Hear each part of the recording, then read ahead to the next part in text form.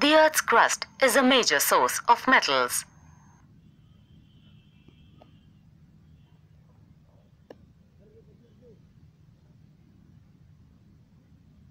Seawater also contains some soluble salts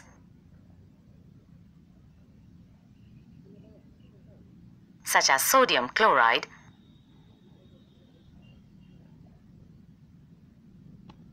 magnesium chloride, etc.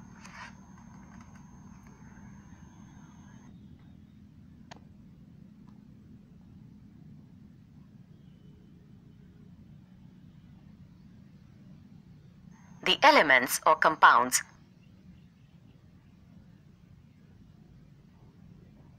which occur naturally in the Earth's crust are known as minerals.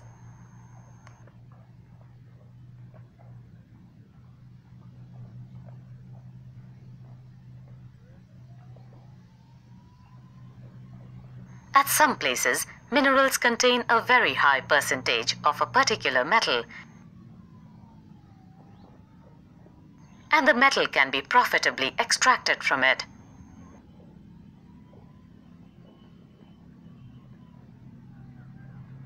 These minerals are called ores.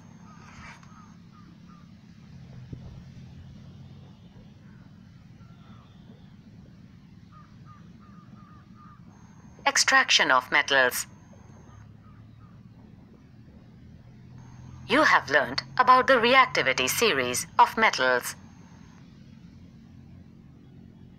Having this knowledge, you can easily understand how a metal is extracted from its ore.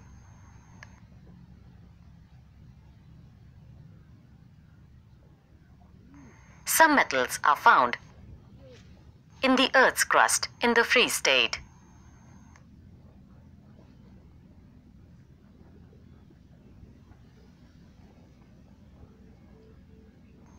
The metals at the bottom of the activity series are the least reactive. They are often found in a free state. For example, gold,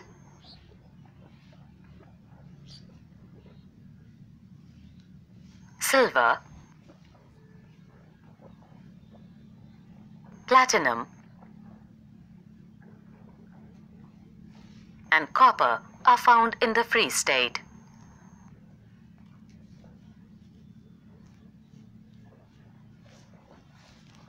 Some are found in the form of their compounds.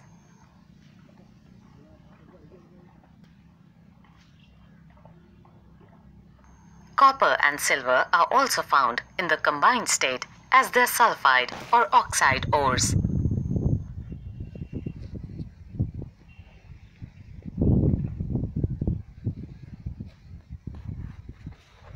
The metals at the top of the activity series K, Na, Ca, Mg, and Al are so reactive that they are never found in nature as free elements.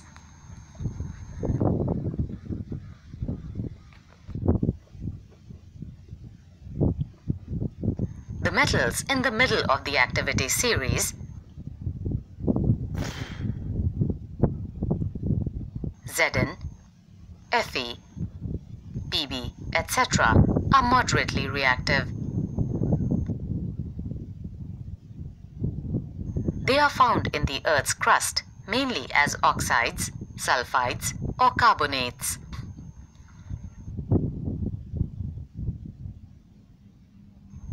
You will find that the ores of many metals are oxides.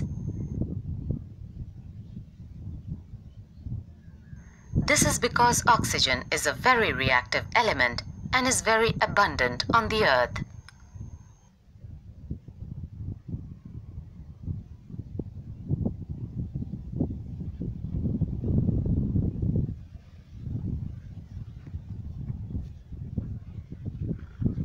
Thus, on the basis of reactivity, we can group the metals into the following three categories. 1. Metals of low reactivity. 2. Metals of medium reactivity. 3. Metals of high reactivity.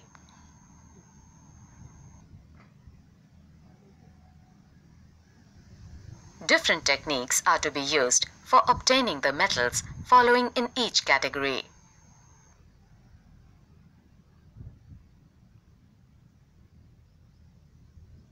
Several steps are involved in the extraction of pure metals from ores.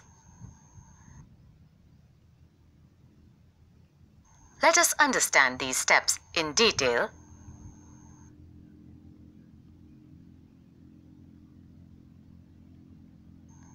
Enrichment of ores.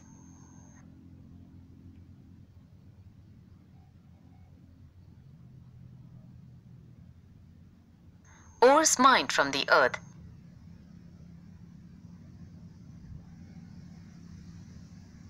are usually contaminated with large impurities such as soil, sand, etc., called gangue. The impurities must be removed from the ore prior to the extraction of the metal.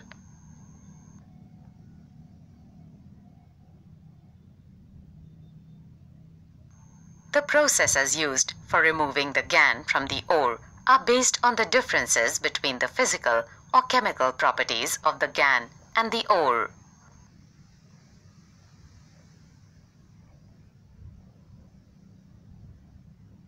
Different separation techniques are accordingly employed.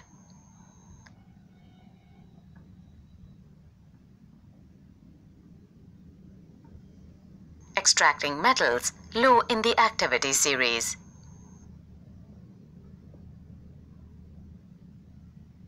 Metals low in the activity series are very unreactive.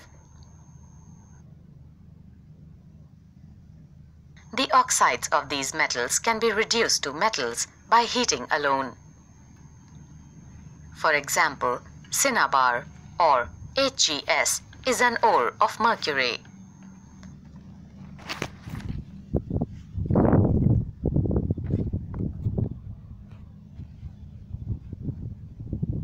When it is heated in air, it is first converted into mercuric oxide or HgO.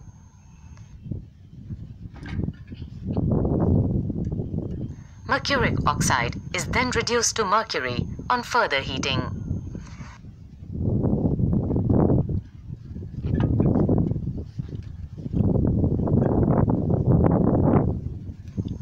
Similarly, copper which is found as Cu2S in nature can be obtained from its ore by just heating in the air.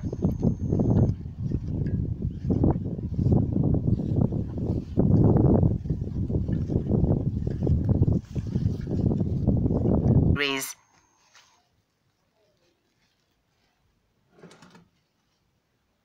the metals in the middle of the activity series such as zinc, iron, lead, copper, etc. are moderately reactive. These are usually present as sulfides or carbonates in nature.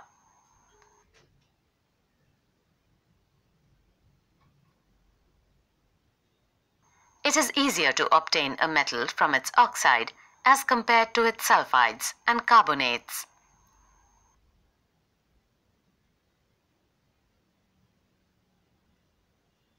Therefore, prior to reduction, the metal sulfides and carbonates must be converted into metal oxides.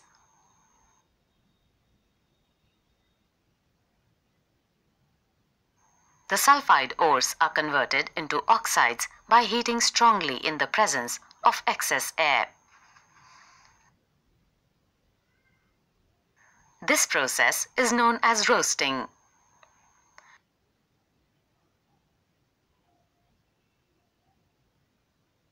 The carbonate ores are changed into oxides by heating strongly in limited air.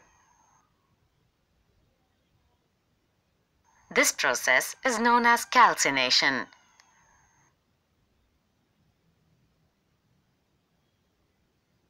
The chemical reaction that takes place during roasting and calcination of zinc ores can be shown as follows. During roasting, the following reaction takes place. 2ZnS solid plus 3O2 gas on heating gives 2ZnO solid plus 2SO2 gas. During calcination, the following reaction takes place.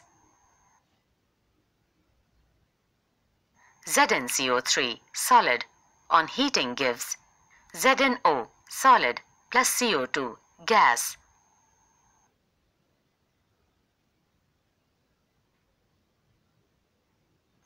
The metal oxides are then reduced to the corresponding metals by using suitable reducing agents such as carbon. For example, when zinc oxide is heated with carbon, it is reduced to metallic zinc. ZnO solid plus C solid gives Zn solid plus CO gas. You are already familiar with the process of oxidation and reduction explained in the earlier modules.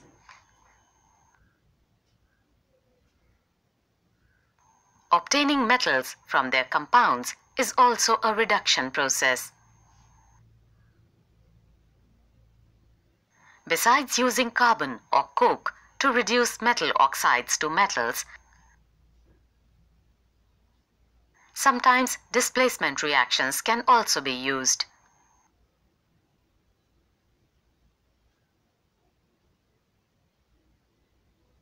The highly reactive metals such as sodium, calcium, aluminium, etc. are used as reducing agents because they can displace metals of lower reactivity from their compounds. For example, when manganese dioxide is heated with aluminium powder, the following reaction takes place. 3MnO2 solid plus 4Al solid gives 3Mn liquid plus 2Al2O3 solid plus heat. These displacement reactions are highly exothermic. The amount of heat evolved is so large that the metals are produced in the molten state.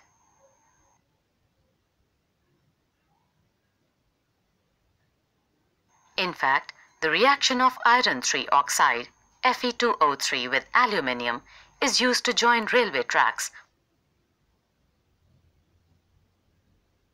or cracked machine parts. This reaction is known as the Thermit reaction. The reaction being Fe2O3 solid plus 2Al solid gives 2Fe liquid plus Al2O3 solid plus heat.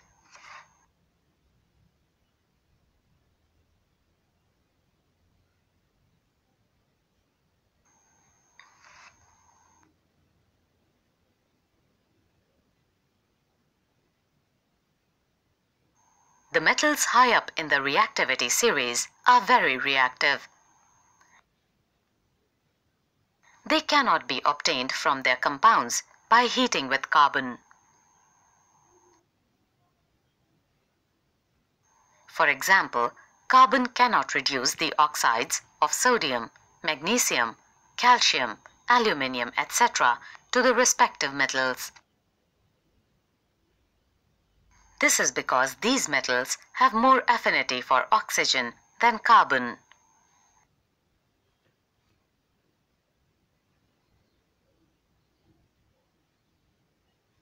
These metals are obtained by electrolytic reduction. For example, sodium, magnesium and calcium are obtained by electrolysis of their molten chlorides.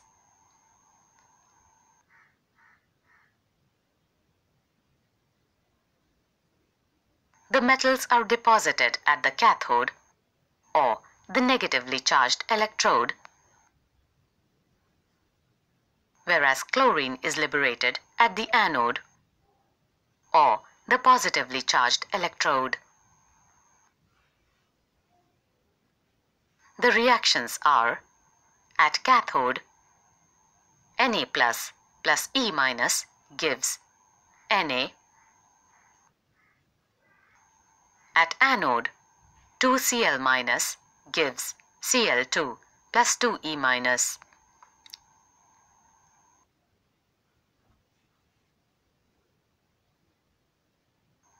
Refining of metals. It is very important to remember that the metals produced by various reduction processes described above are not very pure. They contain impurities which must be removed to obtain pure metals.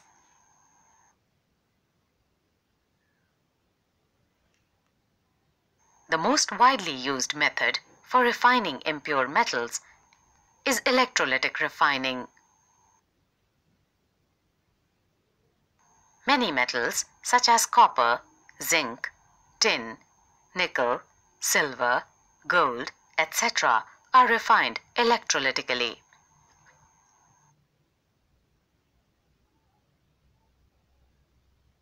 In this process, the impure metal is made the anode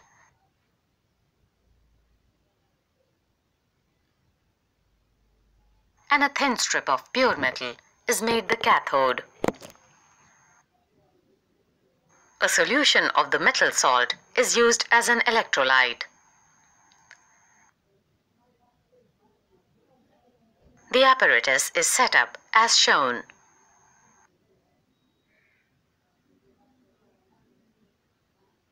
On passing the current through the electrolyte, the pure metal from the anode dissolves into the electrolyte.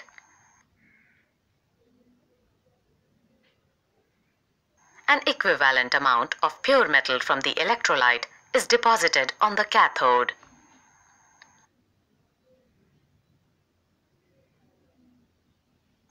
The soluble impurities go into the solution, whereas the insoluble impurities settle down at the bottom of the anode and are known as anode mud.